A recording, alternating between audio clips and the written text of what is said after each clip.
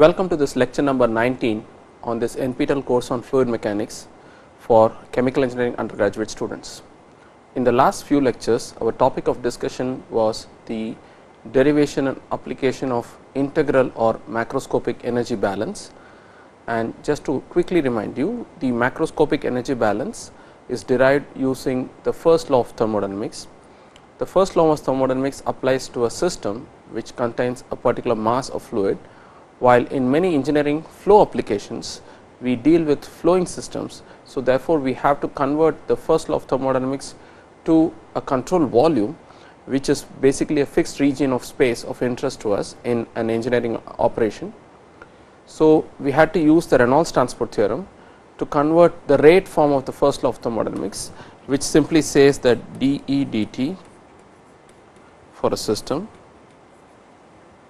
is rate at which heat is transferred minus to the system minus rate at which work is done by the system. Just to reiterate again the work transfer between the system and surroundings involves a sign convention and we are going to follow the sign convention that the work done by the system or the CV on the surroundings is positive while the work done on the system or the CV is negative. So, that is why you see a negative sign in this uh, expression for first law of thermodynamics, while if you use the other convention that work done on the system is positive, then you will have a plus sign. Okay. So, that is a sign convention that can also be adopted, but we are going to follow this sign convention which is typical in many engineering contexts. Okay. So, then use the Reynolds transport theorem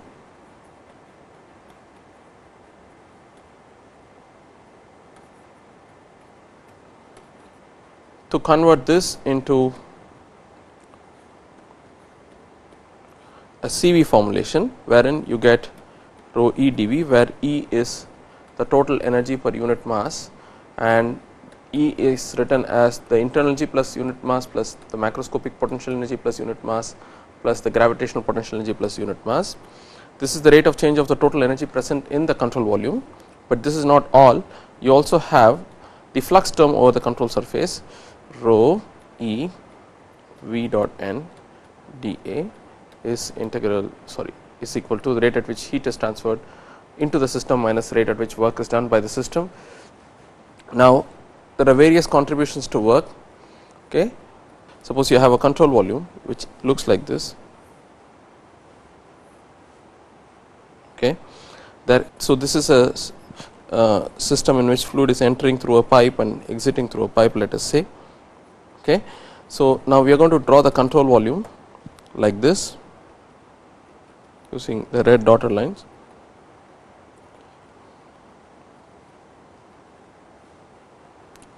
Now, that is the red dotted line therefore, becomes the control surface that demarcates whatever is inside which is the control volume from the surroundings. Now, fluid is entering like this here. So, the unit outward normal here is like this the unit outer normal is like this. The velocity vector is pointing against the unit outer normal at the inlet and along the unit outer normal at the outlet.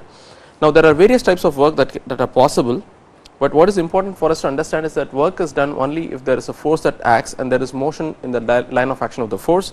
So, in this control surface suppose you consider this um, internal areas where there is flow where there is no flow because the fluid is stationary at the wall okay? That is called the no slip condition which we will see in detail little little later. Okay? So although stress acts on these internal surfaces there is no work done on those surfaces because the surface itself is stationary. Okay? So here there is a pressure force that acts there is a normal force that acts okay? And fluid is also flowing so therefore there is a work contribution at the inlet and outlet that will be given by we later saw it to be equal to the inlet and outlet.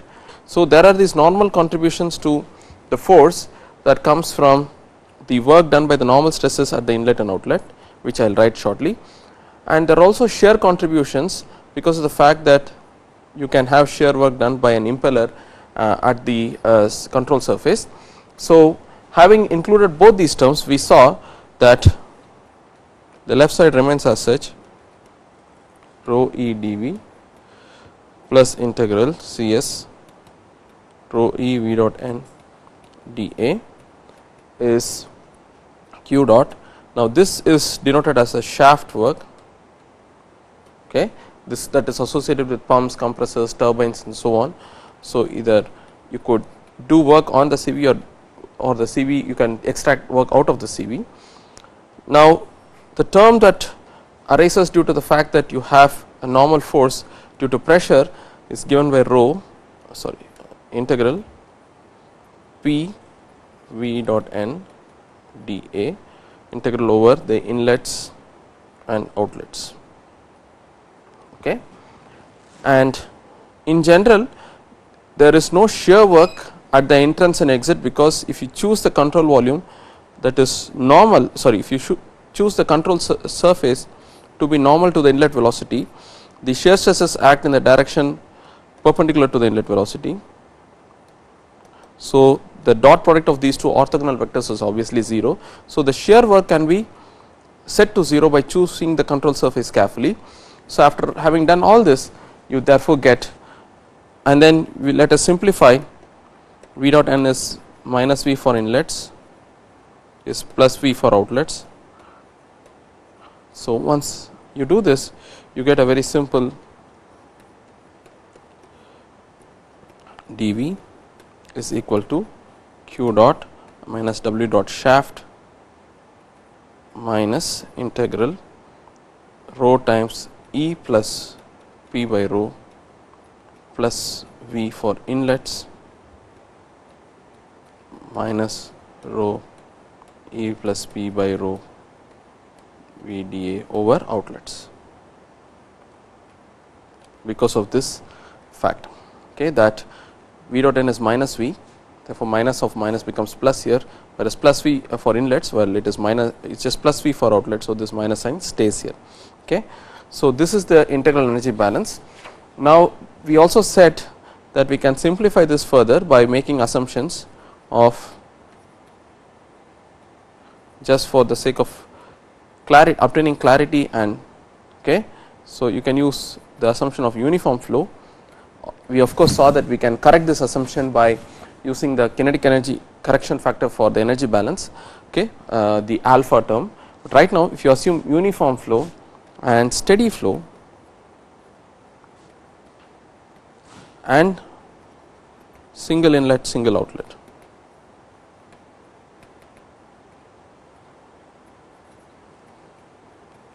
When the flow is steady this becomes 0 when the flow is uniform all these quantities all these quantities are independent of the cross section. So, you can pull it outside the integral same here. Okay. So, the area integral becomes just the area of the inlet and outlet.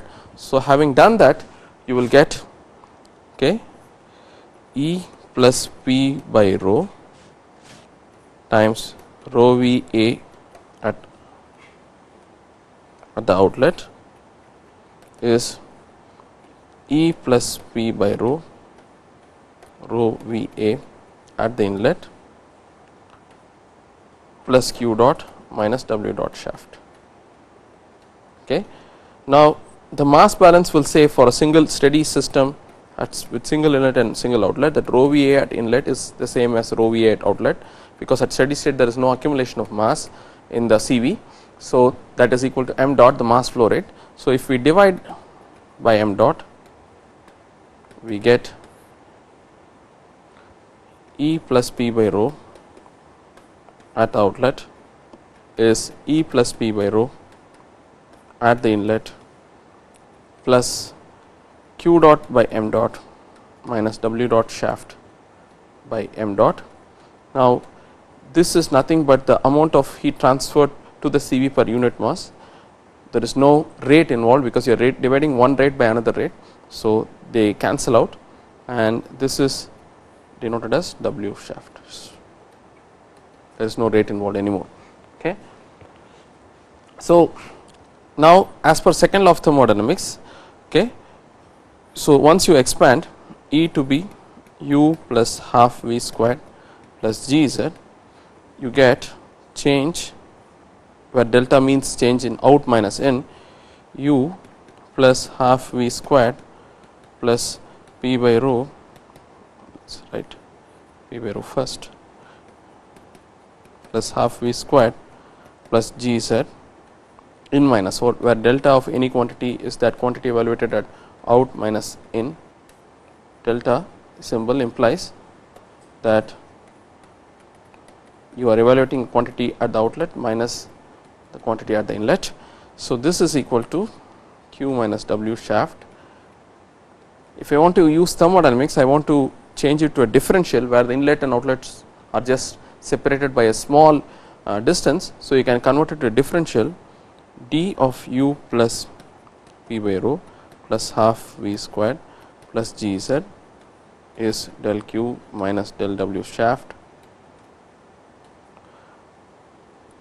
Now, you can now borrow or adopt a relation from thermodynamics du is Tds minus P dV, V is a specific volume which is 1 over density is T ds minus P d of 1 over rho. When you substitute this back out here then you get du instead of du. So, I am going to substitute this in the du here. So, instead of du I will get T d s minus P d 1 over rho, okay.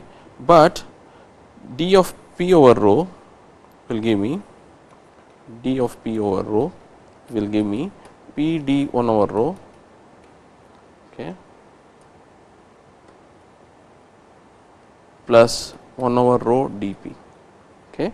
So, I am going to write this as plus p d 1 over rho plus 1 over rho d p plus half d v squared plus g d z is del q minus del w shaft.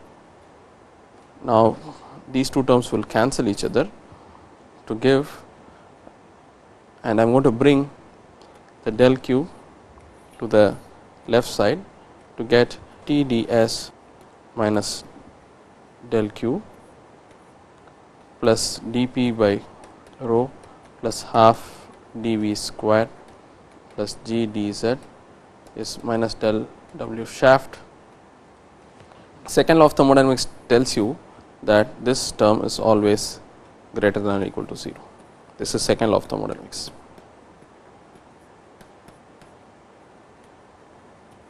Therefore, and this is basically the amount of work that is lo lost irreversibility to heat um, and this equality is valid only for a reversible process, but engineering applications involving flow or irreversible processes uh, you do not do them uh, infinitesimally slowly over a sequence of equilibrium states. So, they are irreversible processes therefore, second law of thermodynamics tells us that this is greater than 0 for flow applications. This is the amount of heat sorry amount of uh, energy that is lost as heat and ends up in increasing the internal energy of the fluid of the fluid. This is also called as the viscous dissipation of energy. Viscous dissipation of energy. Now, from the point of view of uh, fluid mechanics this is the amount that is lost. So, these are termed as losses. Okay. So, this is written as W L amount of energy or work that is lost. So, you rewrite your energy equation simplified energy equation as P by rho plus half V squared plus G z at outlet minus P by rho plus half V squared plus G z at the inlet is minus W shaft minus W loss losses. These are the viscous uh, this is the viscous dissipation of energy that is uh, that implies that energy is transferred from macroscopic uh, forms like work uh, to uh, internal energy. Okay. Now, how to compute these losses we will come to a little later uh, when we do differential balances, but right now this you have to sort of know the losses if you want to find the pressure difference and so on. So, either the losses come as an input to the calculation through experimental data or they come out as an output of the calculation. Okay. So, this is the energy balance after taking into account the losses. Now, after finishing uh, this we also uh, looked at uh, the application of integral energy balance uh, to flow measurement where we try to understand restriction flow meters wherein essentially you had a configuration like this you had a gradual contraction and an expansion. So, essentially fluid is flowing like this eventually occupying the full region. So, there are recirculating zones okay, like this both uh, sides. Okay. So, idea is here to have a knowledge suppose you take a streamline that goes from here point 1 to point 2. Now, if I measure the pressure difference between these two points, okay, there is a delta p. Okay.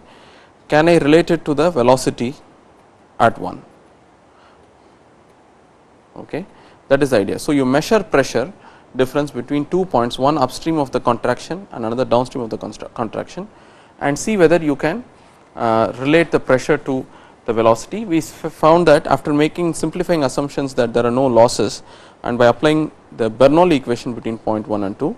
Remember that the Bernoulli equation is essentially uh, gross simplification of the energy balance by taking the CV to be a stream tube and uh, by assuming that there is no viscosity in the surrounding fluid. So, there is no work done and by shrinking the stream tube to a streamline you find that uh, P by rho plus half V squared plus G z is a constant along a streamline. So, this is the Bernoulli equation. So, by applying this to these two points along this streamline, we found that we can say that P 1 minus P 2 is rho by 2 V 2 squared minus V 1 squared and by using mass conservation we said that V 1 A 1 is V 2 A 2 Therefore, we were able to write this as P 2 is 2 P 1 minus P 2 by rho 1 minus A 2 squared by A 1 squared whole to the power half. Um, so, this was the theoretically expected V 2 from here we can find the theoretically expected mass flow rate as rho V 2 A 2 is equal to A 2 divided by root of 1 minus a 2 squared by a 1 squared square root of 2 rho p 1 minus p 2.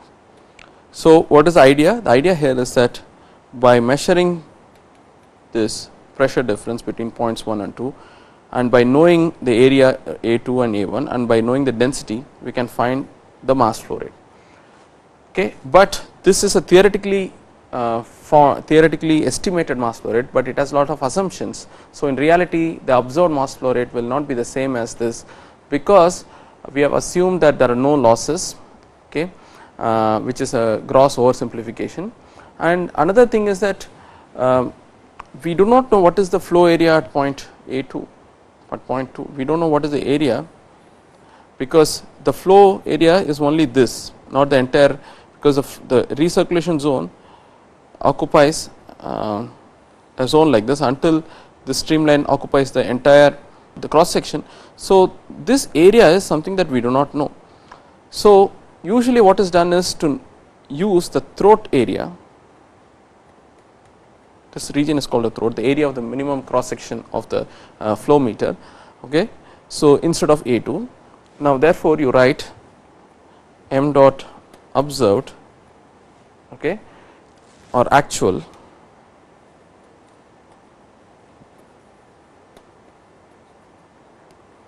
is AT instead of A2 you write AT because that is something that we know from the construction of the device AT squared by A1 squared root 2 rho P1 minus P2. But since there are so many approximations that are involved there will be the actual mass flow rate will be some constant which has to be fitted experimentally or empirically by uh, doing the following experiment. By knowing the given mass flow rate okay and by knowing the pressure by measuring the pressure drop we can fit the constant so that this equation is satisfied. And then this can be used to create calibration charts for a given meter uh, that is how the constant C changes okay as a function of flow velocity and so on. That will give us way to measure or way to measure uh, way to uh, compute mass flow rate okay in a real uh, application by simply measuring the pressure difference uh, at an upstream point of the flow meter and uh, at the downstream point of the flow meter. So, that is the idea of restriction flow meters. We also mentioned that uh, the this is just generic discussion and in practice there are orifice meters and venturi meters which all fall into this restriction flow meter class of flow measuring devices. But one drawback of restriction flow meters is that you will be able to measure only the average velocity cross section average velocity over the entire cross section of the uh, pipe.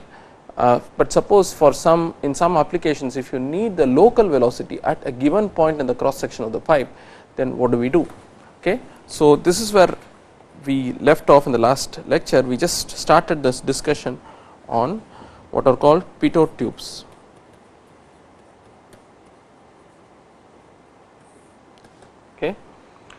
Now, one way to measure the pressure in a flowing liquid is the following. Suppose you have a pipe or channel in which fluid is flowing, you can make a small hole, a pressure tap, this is called a pressure tap or a wall tap. And let us say fluid is flowing on the average in this direction, then uh, it turns out that there is no normal variation of pressure if the streamlines are straight, which we will see later. Okay. If the streamlines are parallel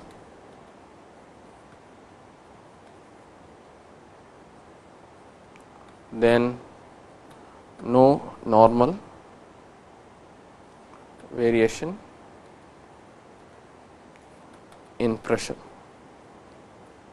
So, we can just measure okay, the pressure here by by having a small tap and then connecting it to the manometer which is exposed to the atmosphere. So, you can measure the gauge pressure at this point of a flowing fluid by simply having a, a wall tap. So, the gauge pressure in a flowing fluid can be measured by a pressure tap and a manometer. It is called a, also a wall tap. Okay. But that is not sufficient to calculate the local velocity at any point in the fluid. Okay. In order to do that what we have to do is what is called use what is called a static pressure probe.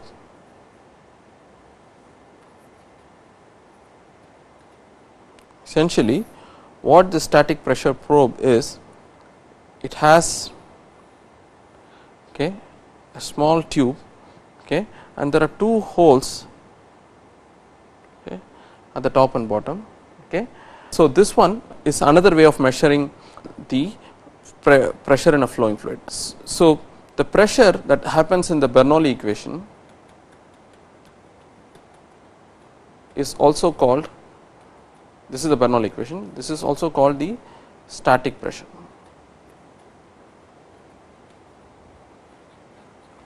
One way to measure the static pressure that is the pressure in a flowing fluid is to use a wall tap. Another way is to introduce this static pressure probe which is a very thin tube shaped like this. Now fluid is flowing like this.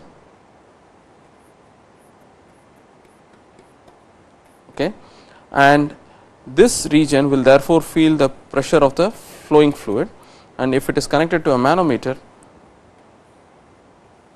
okay then you will be able to measure okay the pressure that is present inside a flowing fluid which is also called the static pressure uh, which is also called the static pressure.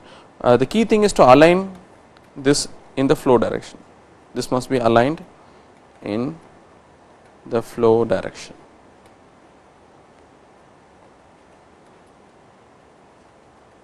Okay. Now, another quantity of interest is called the stagnation pressure. Let me explain what this means.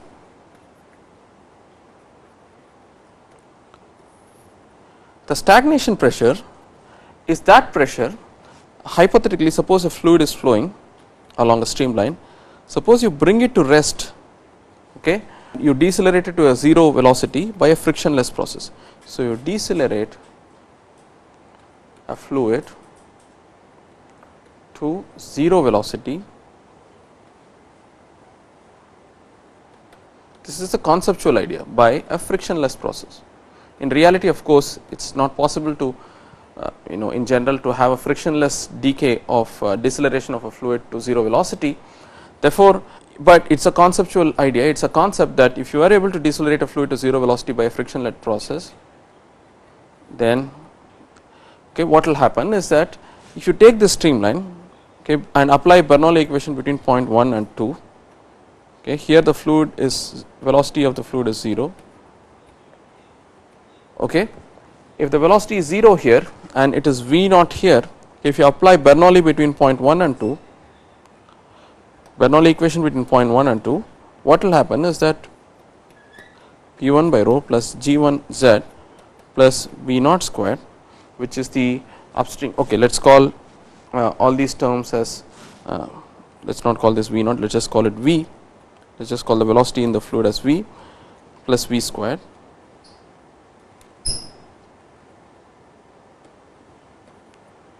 is at the point this is called a stagnation point where the fluid velocity is 0 this is called the stagnation point.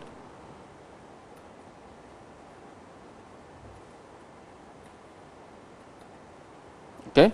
At the point where the fluid velocity is 0 this becomes equal to let us denote the subscript at this point as uh, p 0 plus g 1 sorry g z 1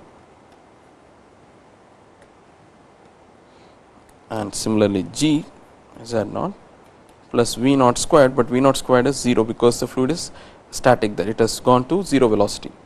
Now, if you assume that the elevations are the same then these two terms cancel out. So, then that gives you an expression for V squared this is not V 2 squared is simply let us call this V squared. So, V squared is uh, P naught minus P 1 by rho or V uh, since you have v squared by 2 should have v squared by 2 here.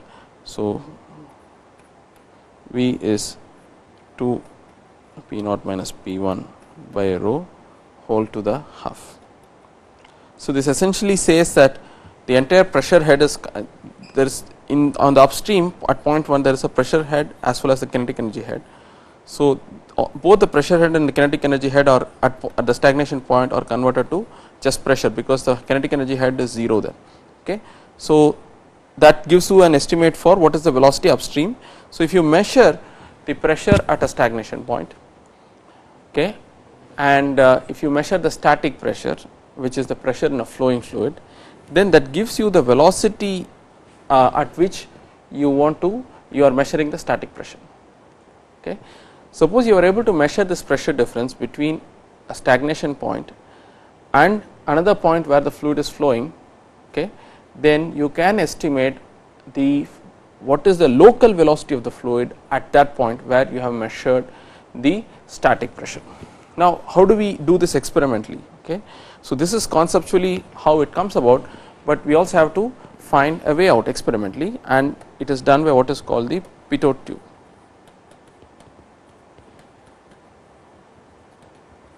The pitot tube is a way to measure stagnation pressure. Okay. So, how it works is the following.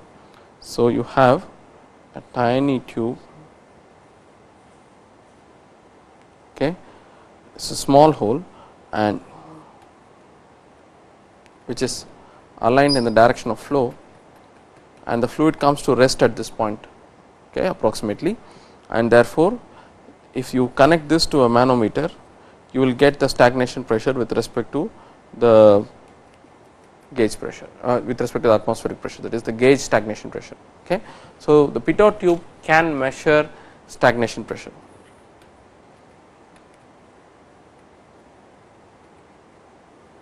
The pitot tube can measure stagnation pressure. Okay. But there is also another variation that is called the pitot static tube which uh, simplifies the two measurements in a single uh, device okay, which, which makes possible to measure both stagnation pressure and static pressure and the difference between them in a single device. This is called the pitot static tube which goes like this which looks like this. So, you have okay, a tiny hole okay, and there is the inner one the inner tube okay, uh, is one tap which measures the stagnation pressure because fluid is coming like this and then there are holes which measure the static pressure. So, okay, this. so let us show it with some other color. So, the the inner tube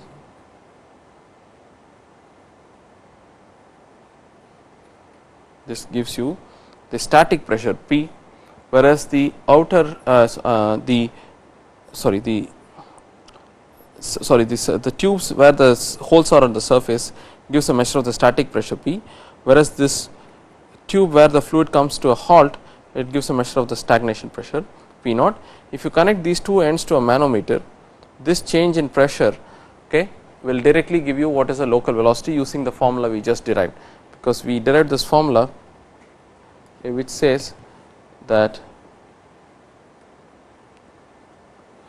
V is 2 square root of 2 P naught minus P divided by rho whole to the half.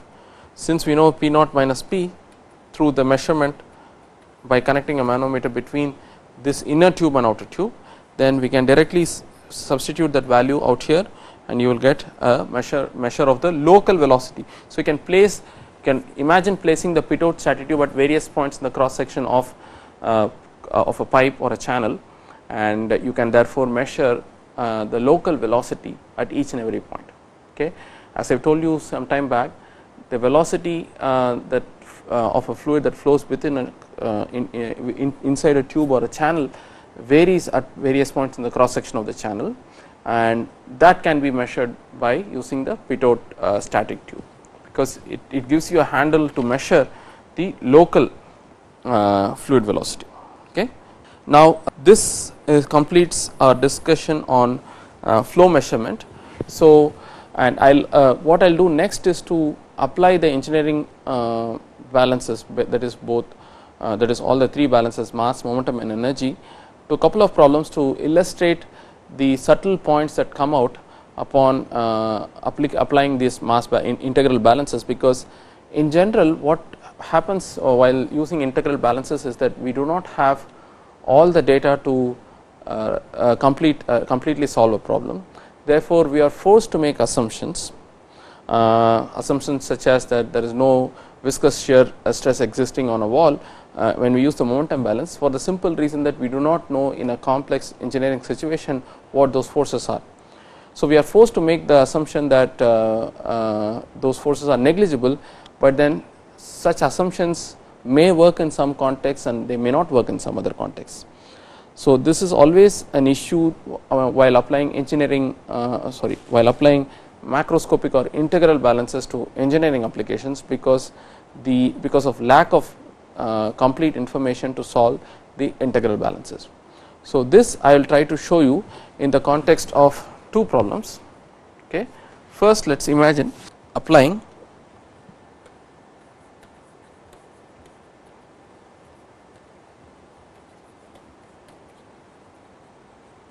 integral balances. So, imagine you have a sudden expansion of a flow. So, you have fluid flowing and you have one station one upstream so, let us draw the CV uh, and another stream. Let me draw it again. So, you have fluid flowing, there is a sudden expansion, you have station 1 upstream and station 2 downstream of the expansion. Okay, whenever you have an expansion what happens is there are losses because not all the energy that you put in by virtue of let us say pressure drop goes in pushing the fluid in the flow direction. There are recirculating zones which are just uh, there because of the sudden expansion which cause additional losses. Such losses are called expansion losses. So, let us say fluid is flowing with a given velocity and we want to be able to find the amount of viscous losses that happen in a sudden expansion. So, we are now going to calculate the expansion losses, the viscous losses uh, that occur in the energy balance that is our aim when you have a sudden expansion. Now, the equations that we have are the three balances mass, momentum and energy. So, we want to be able to find uh, the losses viscous losses due to the sudden expansion. Um, so, using the three balances. Now, how do we go how are we going to do that? Now, if you want to do if you want to use the energy balance to calculate the viscous losses as I have told you we need to know what is the pressure drop between point 1 and 2. If you want to know if you want to know what is the pressure drop between point 1 and 2 then you have to use the momentum balance uh, between these two points uh, between those two uh, control surfaces points in the control surface uh, you apply the momentum balance across these two points to estimate delta p for that we need to know what are the forces. Okay so let me just draw this diagram once again. Okay so as the fluid is flowing there are two types of forces. One is the tangential force acting between point 1 and 2 on this surface. Okay. other is the normal force acting on this. Suppose you imagine this to be a pipe. Okay this pipe is going like this and it's suddenly expanding to a bigger pipe so there is an annular region okay where you have this normal force due to pressure okay so there are two types of forces that act uh, on the surfaces of this CV. Okay. So, we have to keep that in mind. Now, let us first use the uh, so let us use assumptions that uh, we will use alpha 1 is alpha 2 is approximately 1 beta 1 is beta 2 is approximately 1 that is essentially we are saying that let us assume that the flow is in the turbulent regime okay? Just to keep the uh, flow to be re reasonably uniform. So, you have A 1 V 1 is A 2 V 2 this is mass conservation for an incompressible fluid. This is equation number 1 the momentum balance tells you that at steady state 0 is rho A V 1 squared minus rho A 1 V 1 squared rho A 2 V 2 squared plus P 1 A 1 minus P 2 A 2 minus F where P 1 A 1 are the forces P1 A1 and P2 A2 are the forces acting when the fluid is entering and leaving okay the control surface. And F has both the tangential and normal uh, components. So, I just as I just told this is the normal component due to pressure. These are the tangential components okay in the direction of flow okay. So, but we are going to say that the normal component is simply the pressure okay, times A 2 minus A 1 because this is the annular area remember over which the pressure is acting and the negative sign is because the force is acting in the uh, direction opposite to the flow direction. So, you have to put a negative sign. Okay. So, that is one thing that is a normal force the shear stresses exerted by the fluid on the solid surfaces are very difficult to calculate or estimate because we need a more detailed model such as a microscopic uh, or um, differential momentum balance to get that information. So, due to the lack of that information either from a more fundamental model or from experiments we merely set it to 0 at this point. Okay. So, this is an assumption that we have to live with because uh, because it is otherwise it is very difficult to find what the tangential forces are due to shear stresses. Okay. So, the momentum balance becomes rho a 1 v 1 squared minus rho a 2 v 2 squared plus p 1 a 1 minus p 2 a 2 minus minus p a 2 minus a 1 okay. So, this is what we have at so now the point is this p is the pressure at the uh, point where the sudden expansion occurs. So, let us call that plane as plane E okay, because that is where the pressure is being exerted. Okay.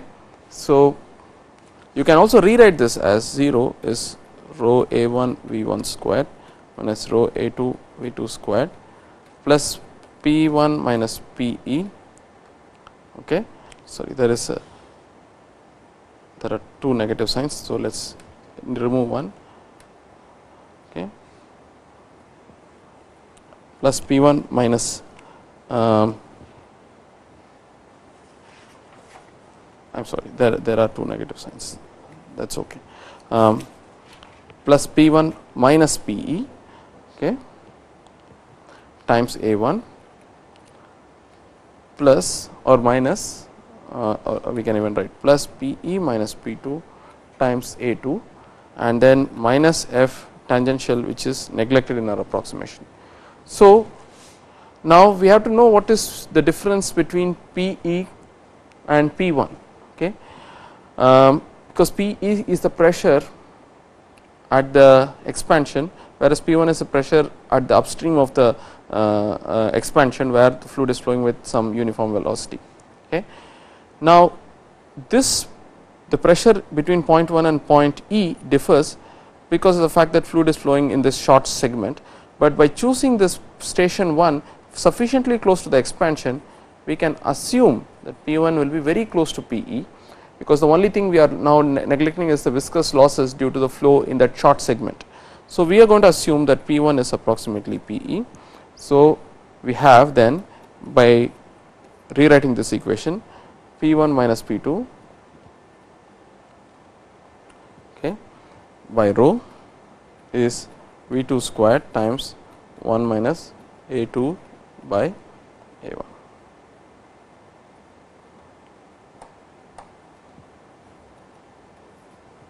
Okay.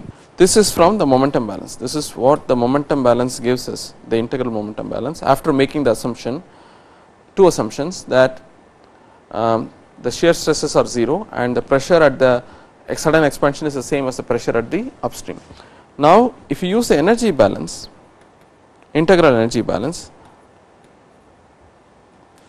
you will get that P 2 by rho plus half V 2 squared plus G Z 2 is P 1 by rho plus half V 1 squared plus G Z 1 sorry G Z 1 uh, minus viscous losses uh, there is no shear uh, there is no shaft work done because there are no shafts that are cutting across the control surface through this simple expansion.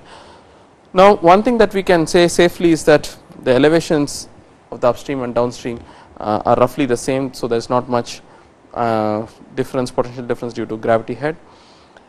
Now, then we have to substitute for P 2 minus P 1 from the uh, momentum balance to get an expression for viscous loss.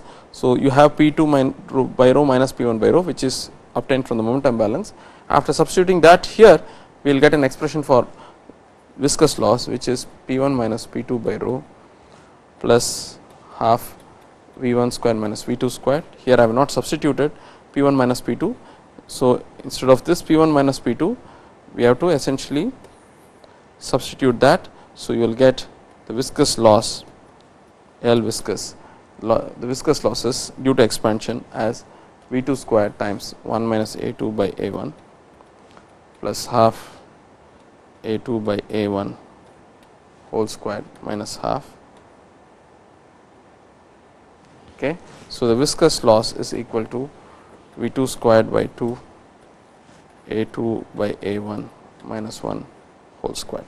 So, this is the viscous loss that happens due to a sudden expansion.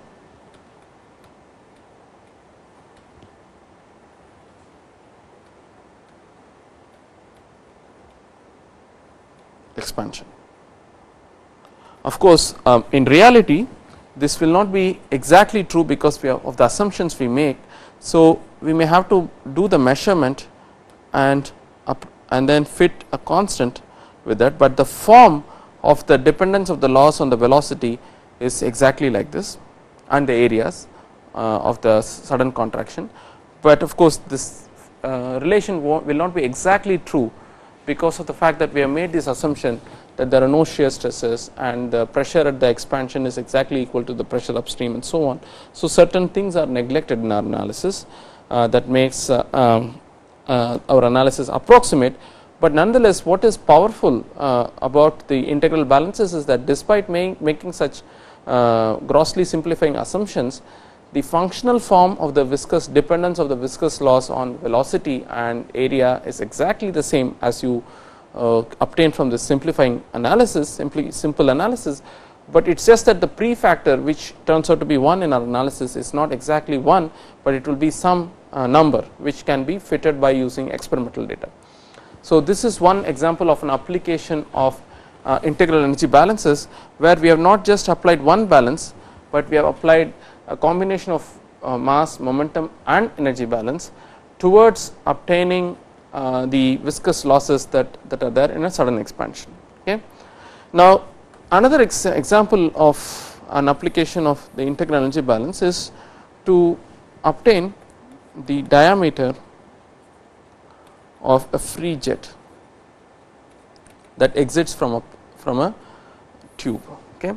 So, imagine you have a tube in which fluid is flowing under fully developed condition let us say it is laminar for simplicity. Now, this fluid is exiting. Okay. Now, the moment it exits uh, it goes into the atmosphere and there are no shear stresses exerted by the surrounding atmosphere on the fluid because uh, the atmosphere is static and it is just air. So, the shear stresses uh, exerted by the atmosphere uh, on the fluid is negligible compared to the amount of shear stress the fluid faces when it flows through the uh, wall when, when it flows through the tube a rigid tube with a tube with a rigid wall.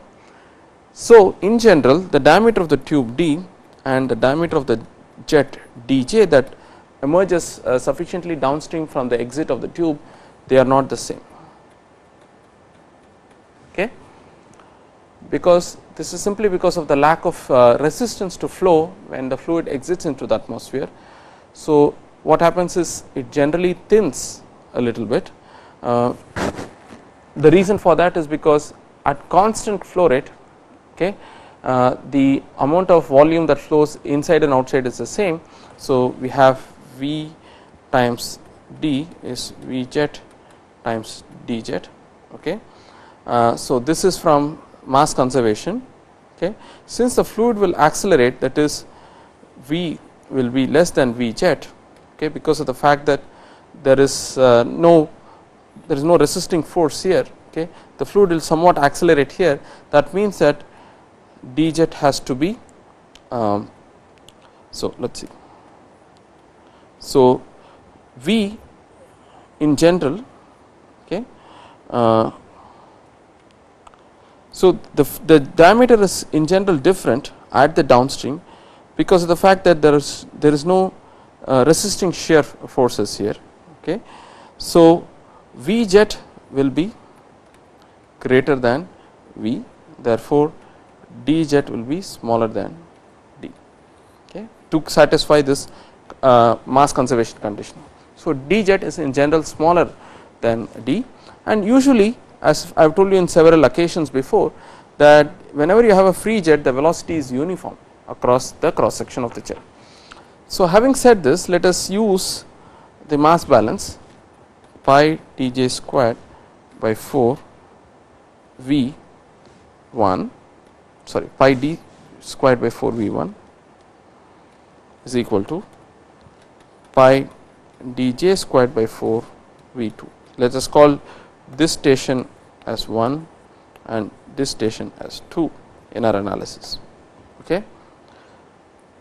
Now, this is mass integral mass balance applied between points 1 and 2 okay, of the CV.